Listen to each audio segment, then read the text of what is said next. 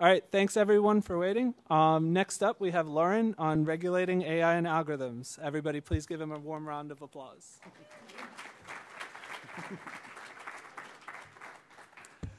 Uh, thank you, everybody. Um, okay, this is all working now. That's excellent. Um, so I'll quickly talk about myself uh, before going into the talk. Um, this is not just to tell you what I do, but to also kind of give a bit of context to uh, what I'll be talking about. So I'm the cybersecurity fellow at the Center for Global Legal Challenges at Yale Law School. Um, things I do, not law. Um, I do uh, research into trust assurance evaluation. Um, I deal with a lot of network analysis stuff. I did research into standard and uh, regulation when it comes to IT security. Um, and before I even uh, finished high school, I worked as a system administrator and architect. So that's where I come from. Right now, I also do a lot of stuff with the DNS and ICANN.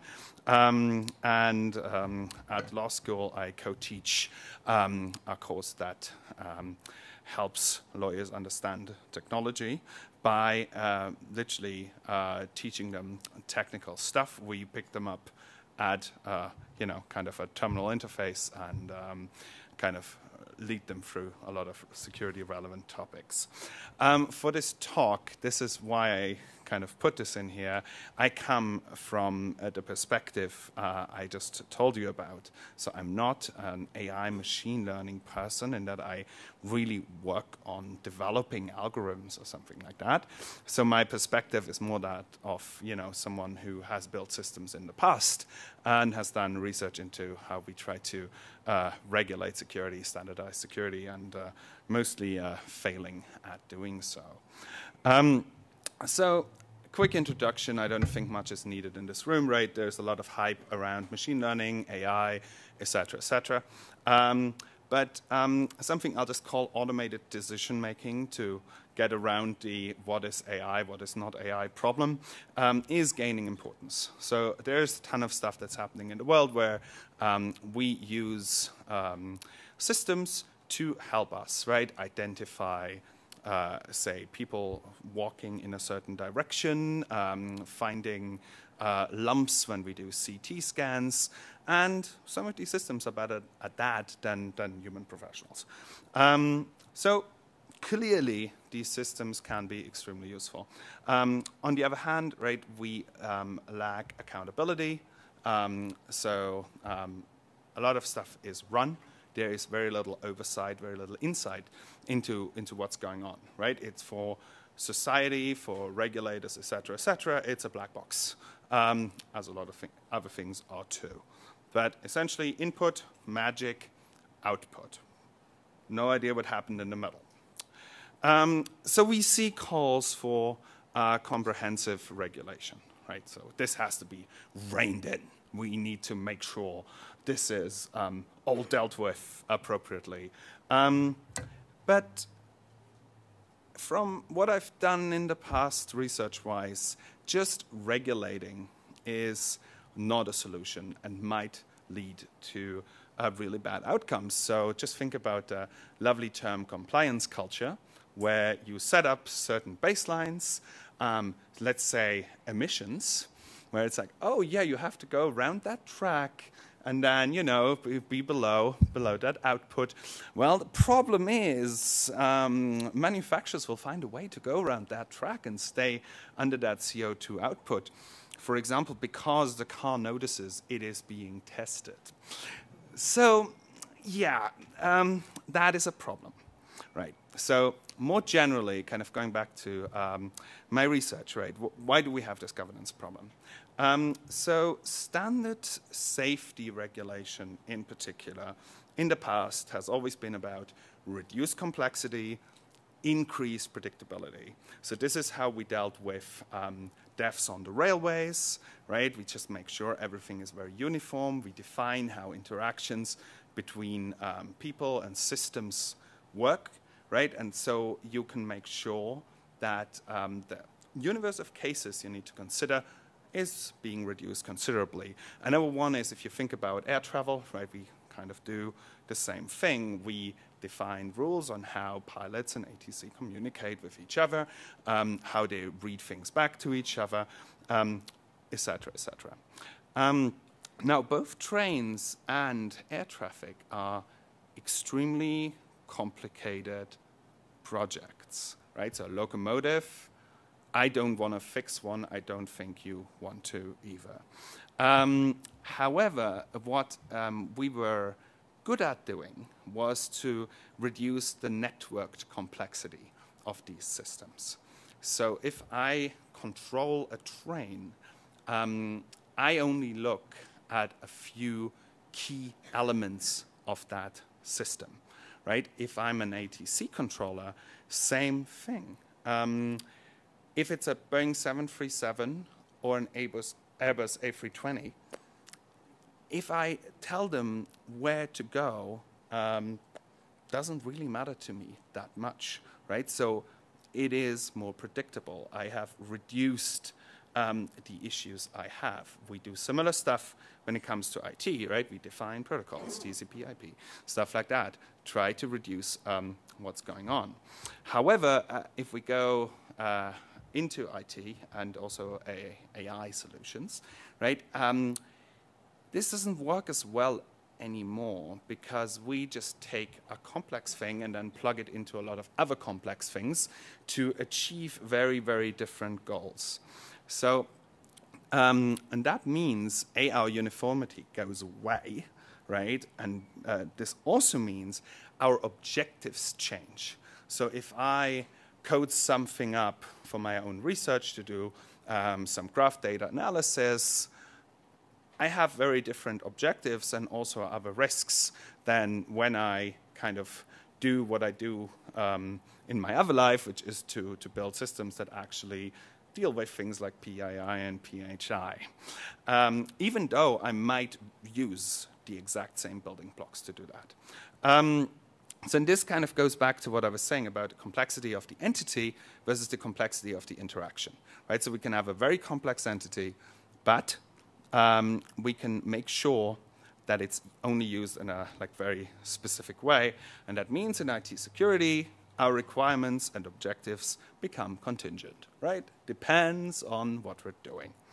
And as I already alluded to, this could have to do with our use, this could have to do with how we implement, with where we integrate it into a larger system, um, what our architecture is.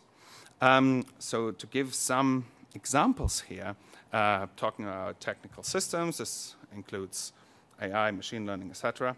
Is it assisted or unassisted, for example? Is this something I just use in addition to a human professional? Or does this have an input into, for example, which human professional is called to help you in a hospital setting? Um, so essentially, uh, is there someone in the loop or not? Is this to support decisions or making uh, quasi final decisions? And when it comes to that, we also have to consider that research uh, already shows that if you have an expert system of some sort, um, we are extremely likely to take that for granted, maybe adjusting things a little bit, but we usually go with what comes out and what is displayed on our screen. So, how do we try to deal with our security objectives in IT security. So predominantly we have two things, right? Um, high level, rather general, um, or we go extremely specific. So I have some examples here, right? So we have the ISO 27000X family. We have something like common criteria, which um, is here for a reason I'll talk on, about next slide. We have vendor certification, so it's very specific. Um, what can you do, right? You can set up this firewall. You can do X, you can do Y. Or we have something like the CISSP, which is like ocean wide and roughly that deep. Um, so they tell you about everything, but about nothing in depth. Um, and what's the problem with this? Um, right now, when we look at security, right, the high level stuff is flexible. So with ISO, you start with like the risk analysis of your whole organization. And that's really complex um, and really involves a lot of thinking, uh, involves a lot of expertise that's necessary to actually do that. And then, say you have your AI or machine learning system somewhere in that in that structure. That that's pretty tough to to figure things out. Um, we have specific approaches for for certain things. Formal verification comes to mind, and they can be extremely helpful. But you have the inverse problem, as we all know. Um, it's usually the implementation that's the problem, not the, the standard per se, right? So it's just, oh, you, you have an HSM, that's great, but then you do a few things that are not exactly ideal, and then, well, it doesn't actually help you that this thing um, really has been designed well. Um, and what's kind of missing is the meso level goals and standards. So, kind of something in the middle that supports uh, professionals, at least according to my research. So, with that background, right? So, as I kind of described, I feel that AI and machine learning are pretty similar um, to security in, in a lot of ways, right? So their objectives, their use, um, how they're um, uh, you know put into an architecture or a larger system. It, it's always contingent. There are a lot of complexities involved, um, and a little change can lead to you know an, an extreme difference in, in how something would be seen. So I guess the first issue is how do we define objectives. So if we go back to, let's say, an airplane, and if there are any uh, aerospace enthusiasts, please excuse my simplification of the complex matter of air travel. But if you look at a plane, we essentially say, well, okay, uh, it should take off, uh, it should stay in the air, um, even if there's a storm, and most of all, come back down in one piece. Um, and if possible, with everyone alive. So you know, hard to achieve maybe, but simple objective. Um, when it comes to uh, like AI and machine learning, it becomes a bit more difficult. What do we want to get out of a system? Um, how? Uh, what are our risks? And which which are the risks that we really need to mitigate?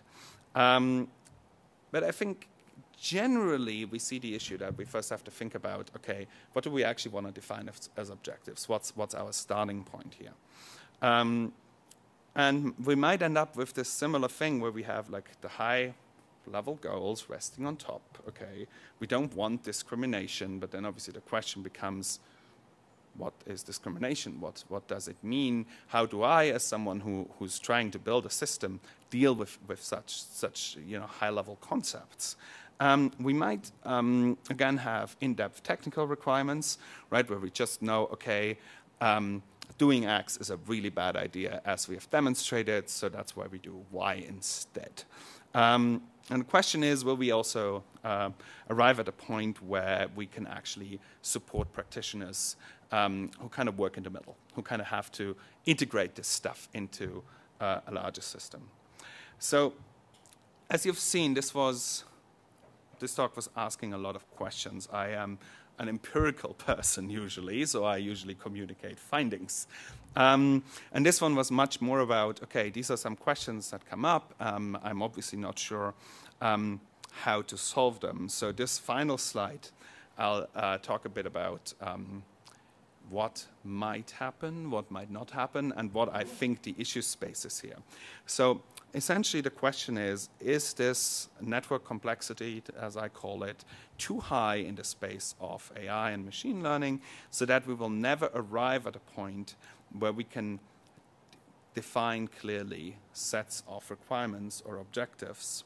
Um, and the next question really comes down to is there a will to do it? In the aerospace industry, planes crashing and people dying is something you want to avoid for a variety of reasons. Um, not least the fact that uh, you will get in a lot of trouble financially if you're unlucky. And we have seen recently that um, the regulation system we have in that area is not particularly great, with uh, multiple hundred people having died, um, the 737 MAX still being grounded, um, and the co regulation regime that has long dominated this space not having worked out properly. So it doesn't mean um, that just because I'm saying these objectives are more simple to define, that the problem goes away completely. So, and why my last point here is essentially, is this just economics, right? Uh, do the players, uh, and by that I don't mean uh, people like I'm sure some, some here in the room who work on this at an academic or developer level and think about how to um, do great things with different types of learning, but more so the organizations that control it. Um, do they have the will and the wish to actually tie themselves down, to actually make sure that people are not hurt? Um, and the thing here is, in a lot of cases, when it comes to machine learning, AI, and same as security, um, people do not usually die.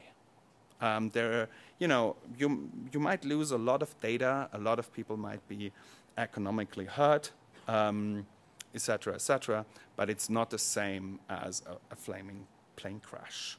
And we also see in IT security that you can have terrible security uh, you are getting breached, and you will walk away. It's not a problem. So, with a lot of systems that go into the direction of machine learning and AI, we might see similar things where if we don't think about the smaller issues per individual that have a huge societal impact, um, we might just not bother, right? So that means uh, we might think a lot about, you know, the car recognizing people on the road, so, you know, you don't run anyone over because that's really bad press.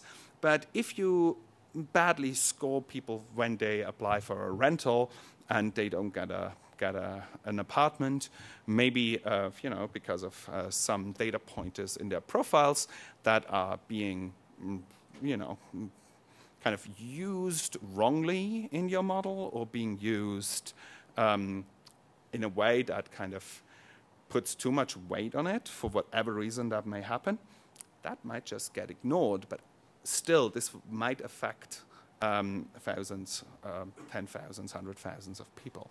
So, as I said, this is a kind of think about this talk. So, I'm happy to take questions because I think I still have about five minutes left. Thank you very much.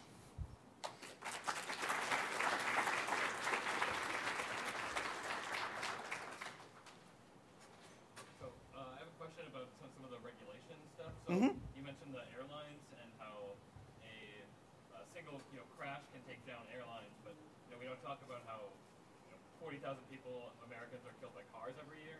Like we don't take all, all the cars off the road.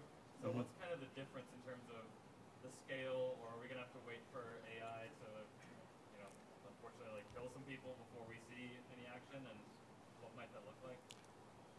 Um, so I'm not sure if everyone could hear the question, so I'll, I'll just repeat it. So I would say, correct me if I'm wrong, it can be boiled down to what has to happen for like a real conversation about regulation to start.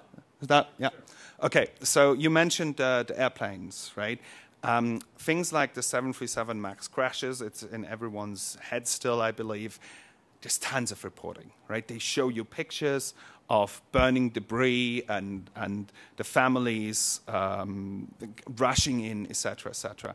When there's a car accident that you also mentioned, that's a statistic, right? That's, that's mm, affects a few people. So, um, and uh, that kind of comes back to my, my, kind of last point, right? Is this just economics? So right now, if a Tesla runs over someone, that's a news story. If we have a million, it will happen from time to time. It will become a statistic. So I think that's that's the key issue essentially. That probably there have to be a few events that make people wake up about what is going on, and because of the types of system we're looking at, it is far more unlikely that we see an event like a plane crash that will be featured in the news uh, everywhere and that, that will kind of garner that level of attention.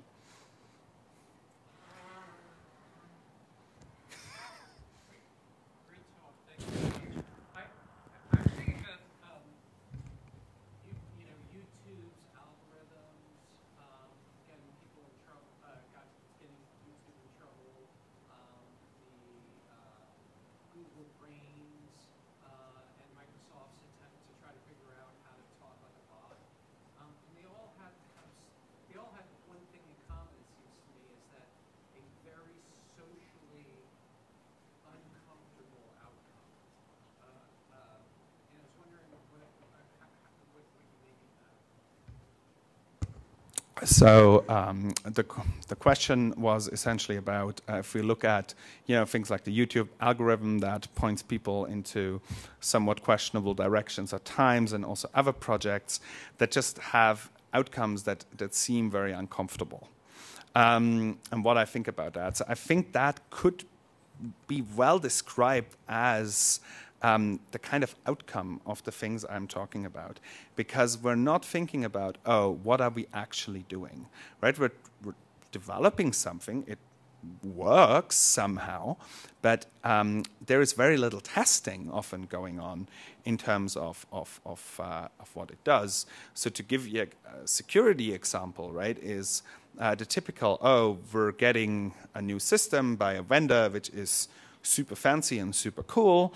Um, but no one goes back to the drawing board and thinks about, okay, how does this actually um, work in context of our existing IT systems and in context of you know what we actually do as a company or organization and what for us at that kind of very high level um, actually matters.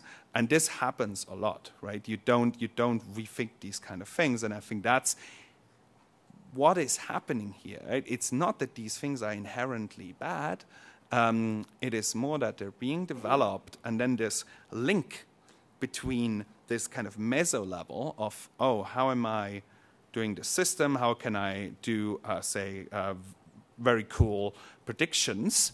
Um, into okay, what what are we actually looking at, and in what kind of larger system are we integrating uh, this technology? Any more?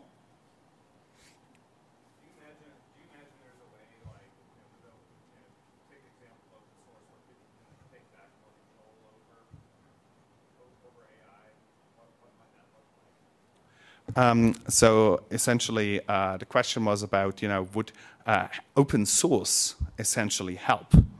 Uh, yeah, as an analogy. Okay.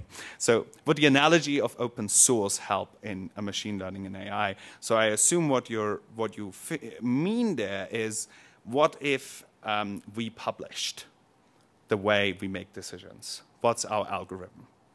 That is roughly the idea. Okay, um, so I think that could be extremely helpful um, because it uh, kind of deals with the accountability and insight problem I was kind of mentioning in my introduction. Um, but it will only help to a certain degree if my other assumptions were to be correct, because um, it's only one building block in the system. So I'm not saying it wouldn't help, um, and I would be all for it. I just think that, again, I use the same thing, which is usually great, in two different contexts with uh, extremely different outcomes. But still, I would be totally in support of, of doing that. And now I'm getting told no more questions. Thank you very much.